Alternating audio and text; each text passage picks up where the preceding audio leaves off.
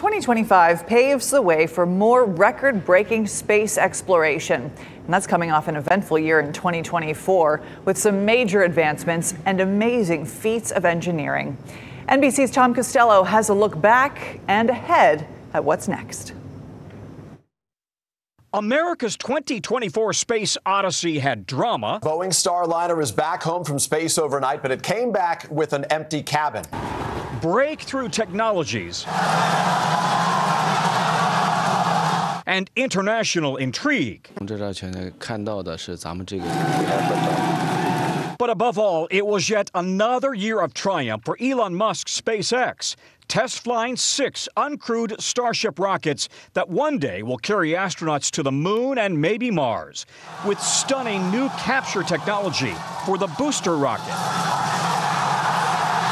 SpaceX will soon provide the ride home for astronauts Suni Williams and Butch Wilmore, whose 10 day mission last June to the space station will last nine months until at least late March, after NASA brought the troubled Boeing Starliner spaceship home empty, concerned it wasn't safe for the astronauts. We're both, you know, Navy, we've both been on deployments. We're not surprised when deployments gets changed. 2024 was also another big year for the Chinese space program, landing a second robotic mission on the far side of the moon, then returning home with soil samples that suggest ancient volcanic activity. China is moving at full throttle to land its own astronauts on the moon by 2030. That's also NASA's goal for its Artemis program. But NASA is now delaying an Artemis loop around the moon until 2026 to improve the heat shields needed for reentry. The goal now a moon landing in 2027. New astronaut Dr. Chris Williams. Have you dreamed of being among the first to return to the moon?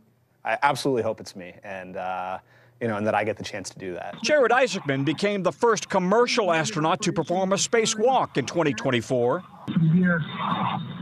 sure looks like a perfect world. He's now President elect Trump's choice to lead NASA.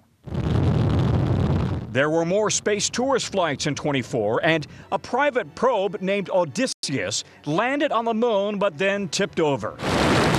2025 will be a year of private business and China pushing to go farther, faster.